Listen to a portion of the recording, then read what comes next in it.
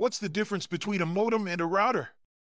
A modem and a router are two different devices that serve distinct and complementary functions in a home network setup.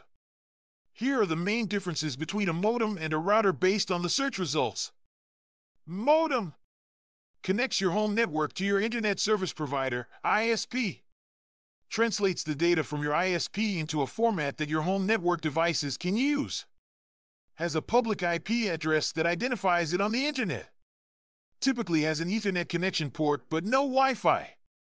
Can function independently from a router. May be combined with other parts of the home network in the same package. Router creates a local area network, LAN, within your house or office. Connects your devices to each other and to your modem.